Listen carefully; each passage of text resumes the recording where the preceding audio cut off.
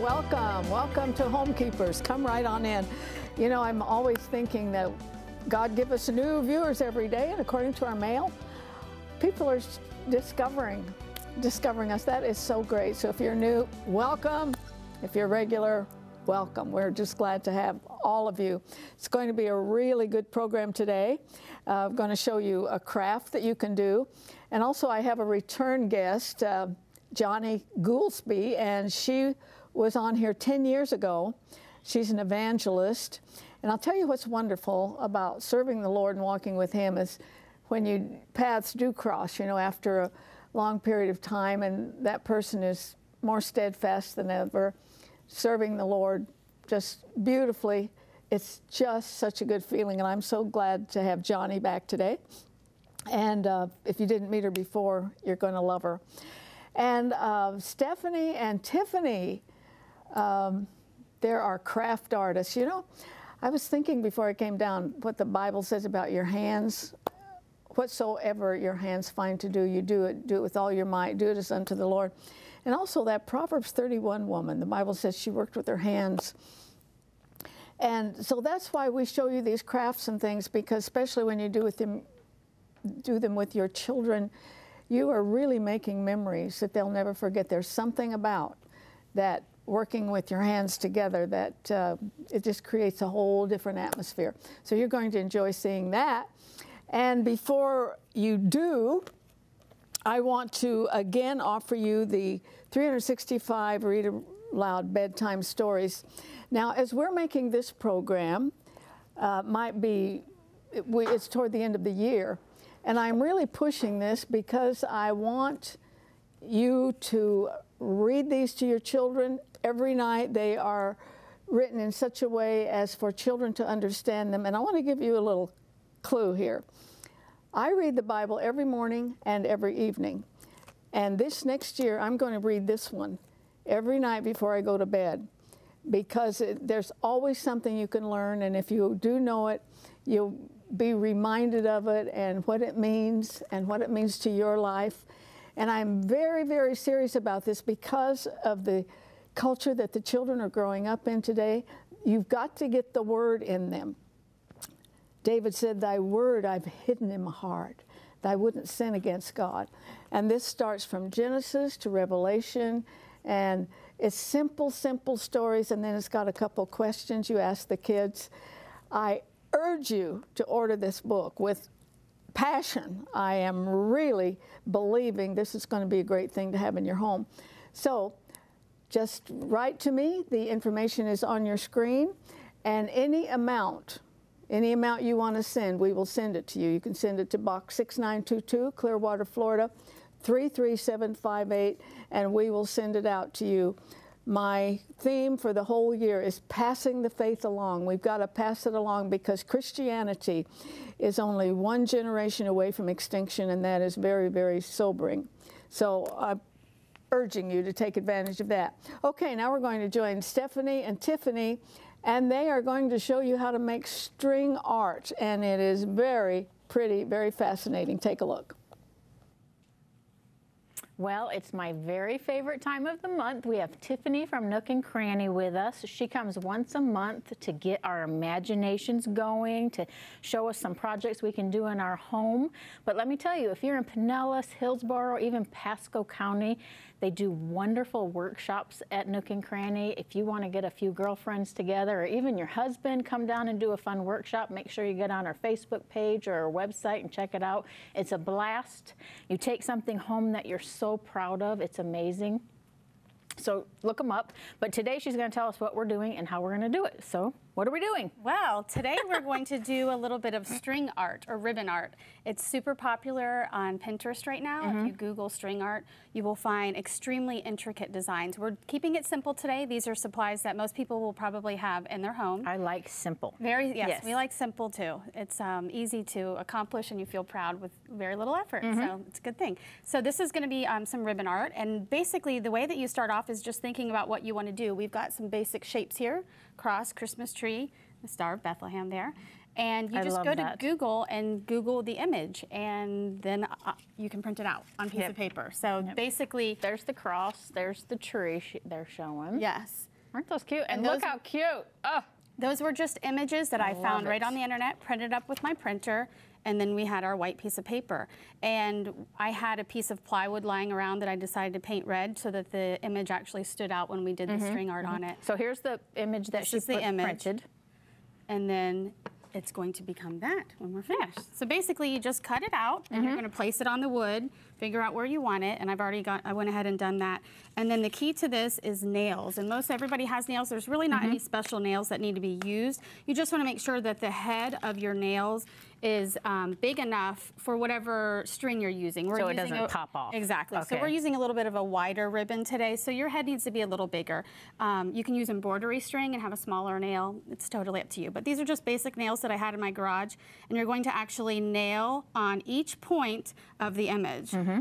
And we have a little hammer that we do that with. This is something that kids can even do too. It's super Mm-hmm. Oh, yeah. easy. So basically, whatever area of the image you want to emphasize is where you're going to put your nail in. So we're emphasizing all of the points of the image, and that's where all of our nails went in. Okay, you painted these, but you stain those. Those are so actually there's many you options can do anything. they could yes, do. you could even leave it. This is a very blonde wood, Yeah. which uh, you know some people If like. you that. did blonde and then you did like black ribbon or do- something You could like put that. stripes yeah. Mm-hmm. on it. You could do anything, anything. But yes, those are stained. This is painted. Mm-hmm. So we went ahead and put our nails in. After you have your nails in, what you're going to do is you're actually going to lift the image off. And it's going to expose just the nails. Now, a little tip here is to have a pair of tweezers handy because when you pull your image up, some of the paper sticks in the, Oh, the wood where the nails are. So you can pick that out. And I have a little picking tool. Or tweezers are usually easier. Um, another tip is to keep your image handy because as you'll see, Once you get it off. the image out there, like, you can't really tell what's going on here. So I like to keep my image nearby so that I can see as I'm leading my um, material around. And we're going to use some twine today, Mm-hmm, which I love. Yes, very simple, rustic. Rustic. It's That's what my whole Christmas is, is rustic this year. Burlap It's and so ribbon neutral. and stuff and yes, lace. It's, very good. Okay, so you printed an image. You have a board, you painted it. You put the image on the board and you put the nails in the points and then you took the paper off. That's Okay, it. so and that's then you're going are. to find one area, it doesn't matter where you start, and you're going to put a knot around the nail, Mm-hmm. and that's going to get us started and hold us in one place. And then basically just look at your image and take your material, and you're going to just wrap it around the nails as you're going along and following the pattern of the image. Which is why you want to have it right next to you because Exactly. that just looks like a, That a mess of nails like it, over yes. we're kind of doing a little bit of connect the dots now. Right, right. And we're just putting the material all the way around all of. Doesn't it make you wonder, like, why didn't I think of this? It you know, really like, does. It's so easy. It really does. it's like, who thought of this? I see so many things. I'm like, I could have thought of that. Really, I could. Oh, look how cute. And then once we get to the end, we're just going to cut the twine.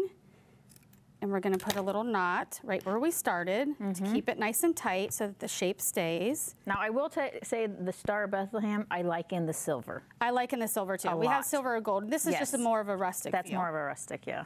Look at how. And then you can go ahead and trim off this or leave it on there, whatever you'd prefer.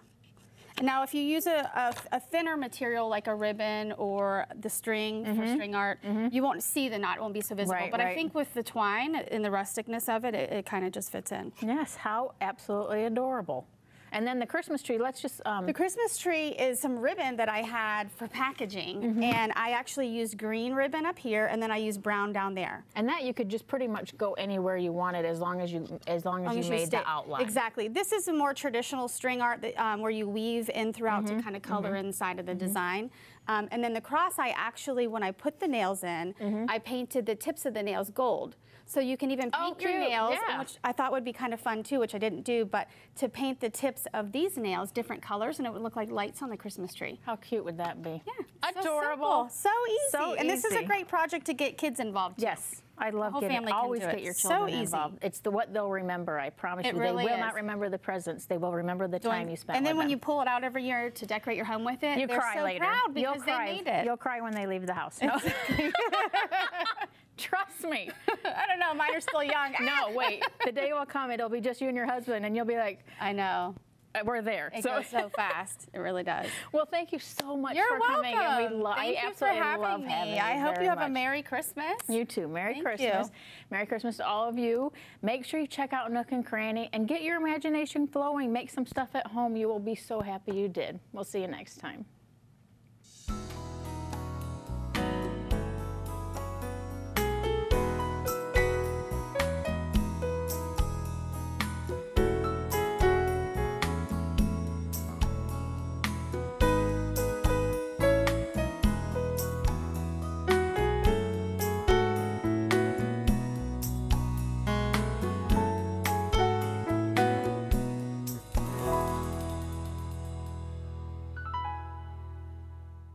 I like that one. That was great. And I looked easy enough that I could do it. Johnnie and I, we were kind of just, Living it. yeah, we were just, um, just glued to that, watching them. This is Johnnie Goolsby. I'm so glad to have you back. So glad to be back. 10 years. Wow. Long time. Uh-huh. and we're going to talk about her new book, Letters from the Field. But she has uh, interesting life, and uh, she she said something before we went on the air. I got to just got to tell it. She said. Do I call you Arthelene or Miss Arthelene? I said, Oh, just call me Arthelene. She said, My mama's going to get me. I love that. You must have had a wonderful mama that really got into the details, didn't she? Exactly. I had a very, very wonderful uh, parents, mom and dad, and they just really instilled in us the values that we need to keep that going uh, in this generation today. But we're very respectful uh, of our parents, very respectful for our grandparents, elders, respectful. That's, that's very important in this day and age. That is one good sermon. Yes. We're getting started here. uh, she is a speaker, a singer, a motivational speaker, and um, she talks a lot about abstinence, and we'll get to that in just a, just a few minutes. But what have you been doing since you were here the last 10 years? Oh boy, God has been really opening up doors for me. Uh-huh. Um, one of the things that I started doing, I continue to speak on the message of abstinence, of mm-hmm. course, but I've been doing a lot of work with seniors, um, mm-hmm. nursing homes, retirement homes, mm-hmm. the homebound. I just had a heart for seniors. And so just decided to do an outreach that's entitled Evangelism in Motion. And basically all we do is give. We go to nursing homes and we sing. We go to retirement homes to sing. Those that are homebound that uh, can't get out and go to church, we go into those homes and we minister to them. We have concerts in the home, concerts at the nursing homes, retirement homes, and it's a blessing to them. They love it. They love it. I love you for it. It's it is so needed. Um, how many books have you written? This is my fourth book. Your fourth book, Letters from the Field. Do you want to describe it? Yes, I do. This is an absolute labor of love. Five years in the making. This particular book is a devotional. It has 365 Bible verses in it, two devotionals per month. Very, very short, very simple. Anyone can read it. That's the way I write anyway. Uh, I try to write so that even if you're a young person, older person, you can read this book and, and be blessed by it. So they're just short devotionals in it that are encouraging to the body of Christ. You're going through something, you need a little pickup, and, and that's what it does. It inspires you and it just encourages you to keep on running the race. Uh, we're going to put her website up, and it'll give you plenty of time to write it down if you uh, would like to get this book called Letters from the Field. You know, I've uh, interviewed a few people who've written devotionals, and I'm always impressed. It seems to me that getting 365 different messages together is huge. Even 365 scriptures to try to pull the appropriate ones. Was that a challenge for you? It was very difficult. But the benefit of it, I believe, is that I learned more scriptures and I kept them to memory. Uh, what was unique about this particular book that you may not find in other books is that with each devotional or set of devotionals that you have, those scriptures that follow it match up with what you just read about. And so it was a it was very intensive study a Bible study to mm. say what scriptures, you know, what I like to put in this chapter, or, you know, what scriptures That'll in this fit. particular chapter that mm-hmm. makes, yeah, that that meets what you're talking about, and that's very, very important. So it, it took a lot of time. Um, now, the letters from the field, I first, when I saw it, I thought, well, maybe these are, this is feedback you've received, but the letters from the field are from you, right? Exactly. And the, the preface of the book is that we're on the battlefield for the Lord mm-hmm. every day. We're all going through things every day. Mm-hmm. And so the, the purpose of writing letters from the field, the Lord just showed me this vision of a soldier mm-hmm. out on the field. You know, he's in battle. And, and, and the letters are, are love letters that God is giving us. Every day he has a letter uh, to give us, which is in the Word of God. And so those devotionals that I wrote were just little uh, stories of things that I've been through and, and little stories I wanted to encourage people to just keep on going. You want to give up sometimes, but you don't want to give up. You don't want to throw in the towel because the best is yet to come. And so by writing these little devotionals and, and putting those scriptures behind it, it gives us strength to continue to run that race. That's what those letters are about. God is powerful. He's amazing. And if we tap into what he has for us, oh boy, Oh what can we do for the kingdom of God? Yeah, and uh, it's wonderful that you highlight that. That, that Bible is just a love letter Yes, it is. to us. Let's see, on this, um, on your backliner, in one special devotional, Miss Goolsby reveals her heart during one of the most painful moments of her life. Do you want to tell us about that one? And I do. Uh, my dad um, went to be with the Lord um, in 2012, and that was it was an eye opener for me. It was very painful, of course, because he was not with us anymore. But it was it was different. You know, we had never experienced having anyone in our immediate family pass away, mm-hmm. and so it was a journey for me. And it was, you know, I had to kind of go through that to get through to where God wanted me to be. But at the same time, you know, I had to uh, get into deeper prayer, uh, more worship with the Lord to, to understand, you know, that my dad is in a better place. And I knew that. I knew that, but it was just different, that separation from having us around or having him around us all the time. Don't you think we cry for ourselves more? Exactly, exactly. Um, and when someone comes to you and says, I know how you feel, they don't unless they've been through it. They absolutely do. And not. I could have told you, I know what it's like to lose my dad. He was only 68 years old, just ravaged with cancer. Sometimes when I think about it, I get mad at cancer. And, and that was a time when they gave him cobalt. I think they killed him with cobalt. And, and uh, I have to just, I have to just kind of tap that down, even after all these years. But um, now you know what it's like to lose a parent. Yes, yes. And God's not going to waste that. And I always ask my dad. I would ask him all the time, you know, how, how do you how do you make it without your mom and dad? And he said, I would think about them all the time. Yeah. And then now I understand exactly what he means. Mm-hmm. Um, I'm impressed that you go to nursing homes. Boy, I was, my mom was in one just for a few months. She lived to be 100, by the way. And um, but she was in assisted living for a short time before that. And there was a lady in a wheelchair every time I went. When I went to see my mom, I took her outside, get her out of here. And and uh, by the time she needed a wheelchair, we'd go in the wheelchair, and I'd try to point out a flower, or a bird, or something. But I always took her out. I saw this lady in this wheelchair every time, and I finally asked one of the workers. I said, um, "What about her?" Is there? She said, "No one has ever come to see her except her attorney." And I just felt like the tears were going to just gush out of my eyes. And I, I commend you uh, for going. And that is the purpose of going to these nursing homes, retirement homes, and homebound.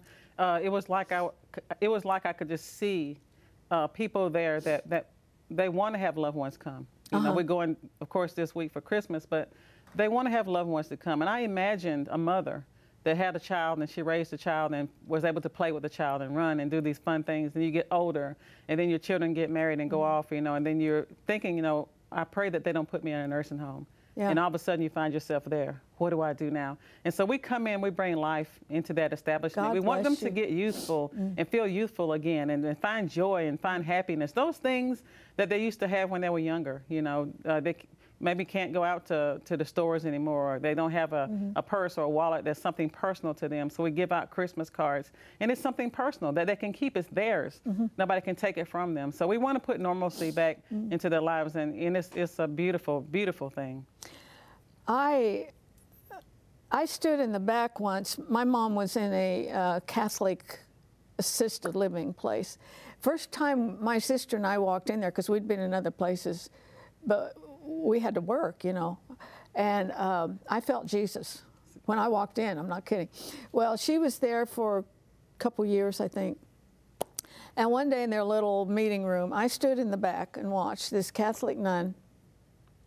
They would sing little choruses, and they know music. Uh, music doesn't leave them at all. Exactly. Uh, my mother could still sing the alto and all that. And one time they had a guy in there leading, and she said he got the melody right, but he didn't have the tempo right.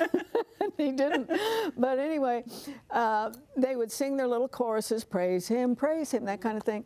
And then she would call each of them up. There were about nine in there that day. And, and she told me later, she said, I always mention their name twice so she said, This is Larry, and Larry has a prayer request. Larry, what is your prayer request?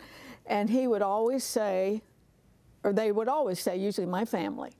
And she would turn to the rest of them and say, We're going to pray for Larry's family. Now, I stood back there with the tears just pouring because here's people with Alzheimer's it's the least of it's the least, you know. Yes. Jesus talked about the least of them. Exactly. And I'm telling you, I felt the presence of the Lord and I thought, I know all these Christian celebrities. they can't hold a candle to what's going on here. So true. So Yeah. true.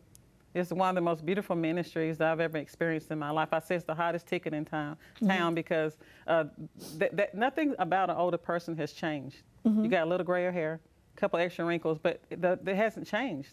And They're still in there. They're still in there. Yeah. Just to hear the music and just to hear a sound and, and just to hear the word and just to see them praising, Mm-hmm. lifting up their hands in praise, singing along, along with us when we sing. It's, it's a very, very beautiful ministry. It really Um, is. I boy, I commend you. You say your mom goes and sings. My mom goes to sing. We have some volunteers that have been, you know, calling and saying, "What can I do to help?" You know, and it's it's just it's expanding, and I know it's going to get you know bigger and bigger. So we do several things, not only just for the senior citizens. I sing at children's hospitals, anywhere where God calls you. You go where God calls you, but wherever He calls you to go, you go, and it's going to be blessed because He's there with you. Amen. I want to talk a little bit about your um, message on abstinence because America has become so vulgar and just spit in the face of God when it comes to sex, sexual relations. Um, and you've done this for many years. Yes, ever since 2001, Mm-hmm. we started um, an abstinence ministry, and I basically go to churches, women's conferences, youth events, any place where, like I said, God calls you. You go out there and you and you bring the message Mm-hmm. of abstinence and keeping your body pure until marriage. And it's a powerful thing. People don't realize, and young people don't realize, older people don't realize the power in, in keeping yourself pure that way. Mm-hmm. Uh, and I've experienced a lot of even older people that said, I'm going to follow this route, and they go back into the world because they said, Well, I waited and waited and waited, and I never got Yeah. married. But the truth of the matter is that we don't keep our bodies pure only until marriage, but we do it to honor God. That's the reason why you're exactly doing it. right. One reason I wanted to bring this up is because of this article, and maybe a lot of people saw it in the news. A young man, Owen La- Labrie, I believe, from a very prestigious college in uh, New England, and they had a tradition there called Senior Salute faculty knows all about it. They knew what was going on, done it for years, I guess. Uh, for, where an upperclassman can get a lowerclassman and have sex with them. Well, this young man did. He had one year away from graduation, and he um, took a 15-year-old girl. She turned him in, and he's going to be in jail Wow. uh, for a year. I would say his future's wrecked. It's ruined. And the name of the school is St. Paul's uh, in New Hampshire. If anybody there's watching, please suggest they change the name of the school. I don't think St. Paul would ever want his name on something like this. But the point being that what were these kids taught at home? exactly. Exactly. They, that, that would be okay. Exactly. It's t- to me, it's like it all starts with the home. It all starts with what the parents are teaching the young people and where, where you go with that. And we hear so many uh, people say, "Well, you can tell them, but they're not going to listen to you." But you still should tell them anyway. You still should give them that option anyway to know that this is a better Absolutely, way. You know, but a lot of times they, well, they're not going to listen to me, so I won't teach them that message. And they and they go out there and they, they don't know where to go. They don't know, you know, what should I do? What shouldn't I do? And then you got people that are grabbing them up that mm. don't know the word and they're saying, "Oh, don't listen to that. This is the way that you go." And it mm-hmm. just it's a it's a a chain of events that take you down a dark path that you don't have to go on. It is so destructive. Yes, it is. You cannot go against the Word of God and not pay for it. There's no way. There's still a harvest. You still Yes. reap. And this young man, for all most practical purposes, his life is wrecked. And the article also states that these guys want to get the girl. Listen to me, girls, okay? Listen to me. Um, and then they go back to their rooms and brag. They make an absolute fool out of those girls. Terrible. And so you really need to respect yourself a little bit. Exactly. You know, I was sharing with one of my friends the other day that we need to go back to those days of, of being young women, being young men. You know, uh, Of honor. Exactly. It's very simple things. Opening a door for you. You know, uh, coming to the door and introducing yourself when you're taking the young lady out.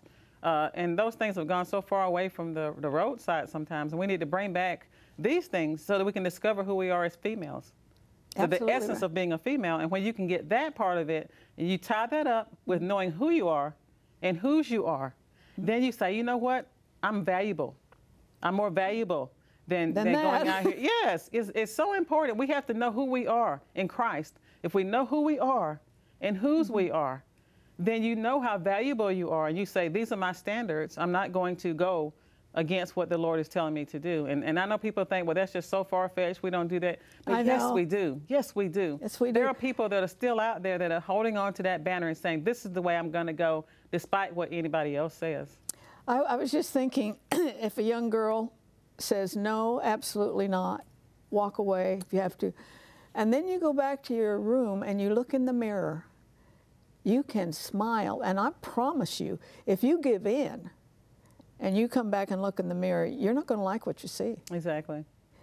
because you cannot break God's laws and have any mm-hmm. joy in it. No. Not and whatsoever. I've been to so many conferences. I've been speaking at so many conferences. And the part that breaks my heart the most are those that are 50, 60, 70 years old that are weeping, saying, I wish someone had told me. Yeah. I wish someone had told me. And, and that's the purpose. That's why we keep going on with these messages. That's why we keep going because there's somebody out there that has not heard that this is another way that you can go. And it changes their lives. You know, you're refreshing. I, I really am glad to see you again and uh, to sense God is still using you. You're still yielding to Him. It's, Yes. It's great. And we are just about out of time, but let, let me remind you again for any amount, any amount at all, you can uh, order this book. I'm going to make it my nighttime devotional uh, for a year, 365 days. Somebody's already done the work for me. All I have to do is read it. And I, I just hope that these will be ordered by the hundreds and thousands uh, to know that the Word of God is getting inside the home and it's being read out loud. And it's when you have do that, it somehow finds its way into your heart. But we are out of time right now. Love you, Johnnie. Come you. back again and join me next time, remembering there's no higher calling than that of a homekeeper. God bless you. If you should miss a Homekeepers program, you can catch up by going to www.ctnonline.com. Click on CTN Programs and then on Homekeepers.